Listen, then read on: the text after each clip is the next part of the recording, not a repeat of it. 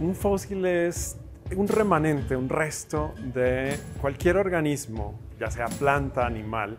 que vivió en el pasado miles de años o millones de años y que queda preservado no solo en las rocas, sino a veces pueden quedar preservados en resinas, que es lo que llamamos el ámbar, pero también puede quedar preservado en el hielo o incluso en algo que llamamos los sedimentos. Por muchos millones de años, Sudamérica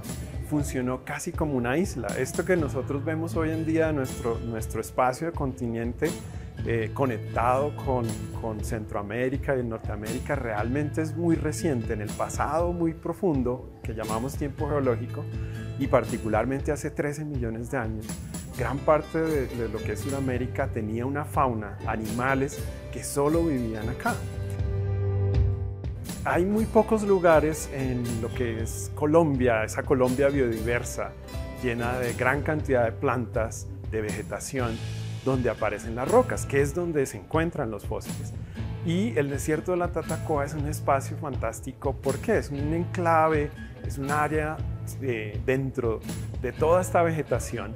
con mucha zona árida, donde llamamos algo que llamamos el bosque seco. Y ahí las rocas están expuestas. Entonces tenemos gran cantidad de rocas que podemos caminar por cientos de metros, incluso kilómetros, y además de eso, no solo las rocas, sino que estas rocas pues tienen muchísimos fósiles. Así que es uno de los destinos favoritos para, para la mayoría de los paleontólogos colombianos y latinoamericanos en general. Ya llevamos ya trabajando cerca de unos 10 años eh, de salidas de campo constantes, de trabajo constante, y en todo este tiempo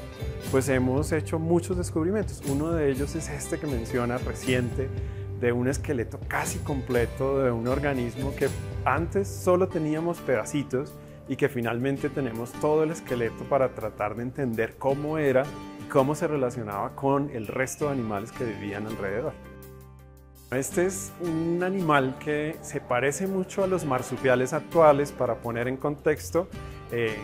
están, están ahí los marsupiales actuales son canguros, por ejemplo, y dentro de nuestro país tenemos lo que llamamos los zorrochuchos o los faras, ese tipo de, animales. Está emparentado con ellos, es un fósil que es una especie que denominamos Anaclicitis gracilis, un nombre bastante raro, pero que en pocas palabras lo fascinante de este es que era un animal relativamente grande, haz de cuenta el tamaño casi de un perro un poco más,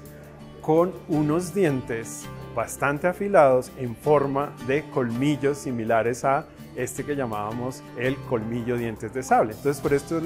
se conoce como el marsupial de dientes de sable. Y eh, bueno, como lo encontramos, esta especie yo la empecé a estudiar en mi doctorado, pero resulta que en esa época solo conocíamos un pedacito de mandíbula pequeño que, que ya se había descrito. Y resulta que cuando en el 2009 que se hizo esa expedición gigante de paleontólogos al desierto de la Tatacoa, donde participaron como más de 50 paleontólogos colombianos y algunos eh, invitados eh, extranjeros, eh, allí encontramos un, un, ejemplar completo de este fósil del que solo se conocía la mandíbula. Entonces es un esqueleto completo y en este estudio lo, que estamos haciendo es describir su cráneo completamente. O sea, algo que no se conocía y nos permitió confirmar muchas hipótesis que ya teníamos y conocerlo pues mucho mejor, saber de todo acerca de, pues no solo de con quién estaban emparentados, sino también qué comía, qué, sí, qué tipo de dieta tenía, qué, qué tipo de hábitos para tener, su apariencia, hicimos una reconstrucción completa de la cabeza, de cómo se vería en vida, una reconstrucción muy, muy detallada, porque normalmente eso se deja un poco a la imaginación del, de los paleoilustradores, pero esta vez lo hicimos de forma muy detallada, eh, siguiendo, no sé, por músculos, eh, reconstruyendo la, la, el cráneo como se vería sin ninguna información, todo lo hicimos con pelo, todo, quedó súper interesante la reconstrucción.